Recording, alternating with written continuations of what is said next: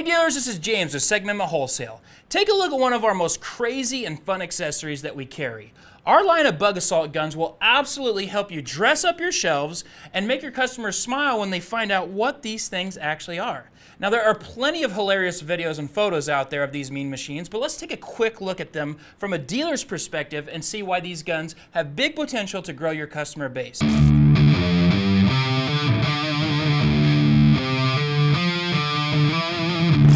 A quick history lesson of these little fly killers starts with a man named Lorenzo, an eighth grade dropout. Yes, a high school dropout turned millionaire after thinking this bad boy up. Now you can read his long path to fame online, but I did find myself smiling when he said this all started with him as a teenager shooting flies off the window with his BB gun stuffed full of sand. I mean, who hasn't put things down the barrel of your Red Ryder BB gun when we were all young?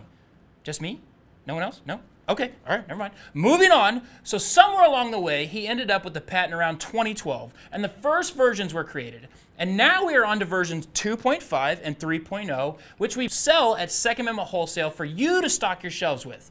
Now in 2019, they had already sold 2.5 million units, and last year, one year alone, they almost sold a million.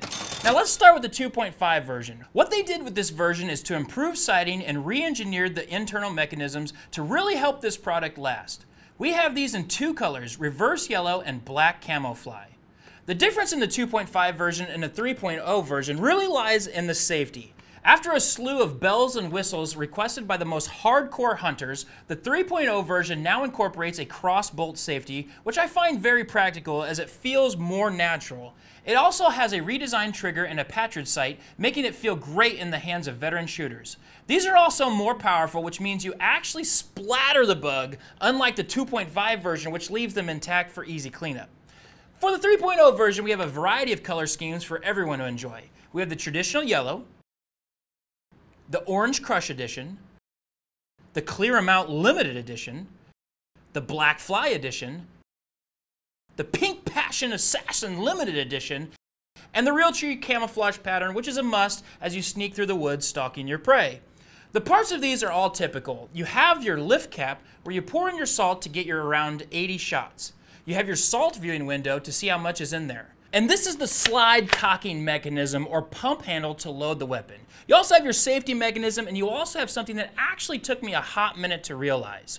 You have your pop-up sight, which only raises up when the weapon is cocked, letting you know when you are ready to fire, especially when you leave it laying on your desk, cocked, locked, and ready to rock for the next bug that lands and you want to blast them off, right? But that is what that's for. It lets you know that the orange rear sight is up, so it's pumped. Brilliant. And if your customers need an accessory, we've got it. This is the Bug Beam Laser Adapter Kit to just make it even more fun.